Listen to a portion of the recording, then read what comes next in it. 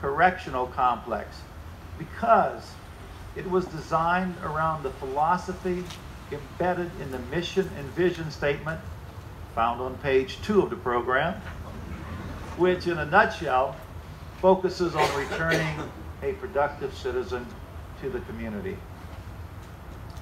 For nearly 3,000 years, jails and prisons have been used to incarcerate and punish lawbreakers and criminals.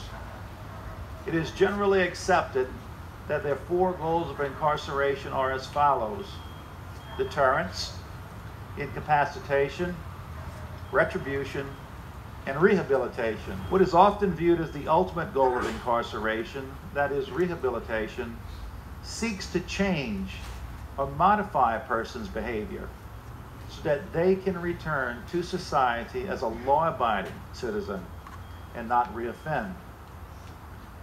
Arguably, incarceration generally succeeds in the area of incapacitation, retribution, and to a lesser degree deterrence.